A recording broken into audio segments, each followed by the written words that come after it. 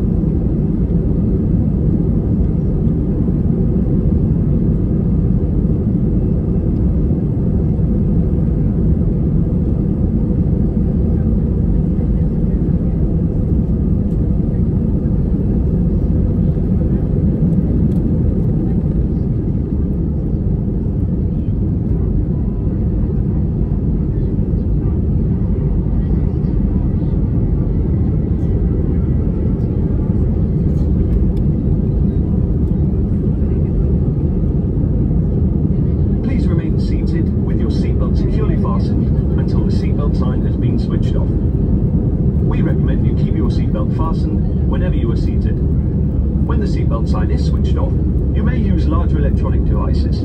Please be careful when opening the overhead lockers.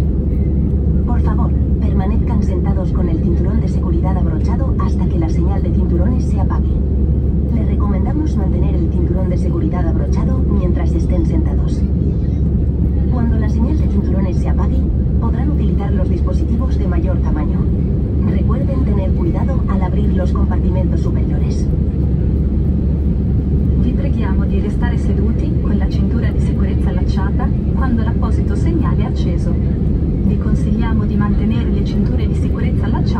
siete seduti.